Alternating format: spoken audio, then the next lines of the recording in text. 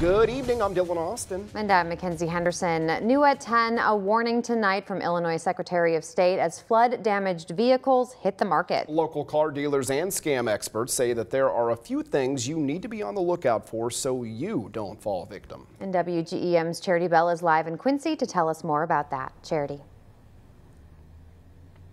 I'm here at Hess Auto Agency in Quincy, where a car dealer says used cars are on high demand right now. The Secretary of State warns some people might be taking advantage of the market and trying to sell flood damaged vehicles without disclosing that fact.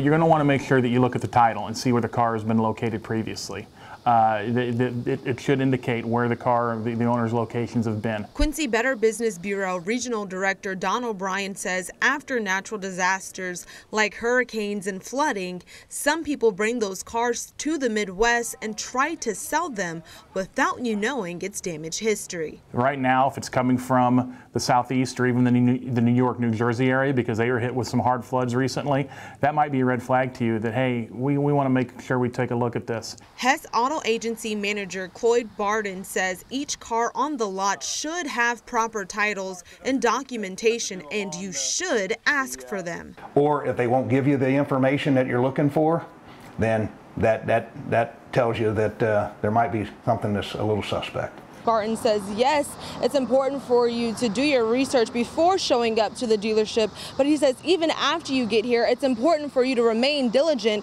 and check out the vehicle before making your purchase. There should be some indicators that it was in a flood.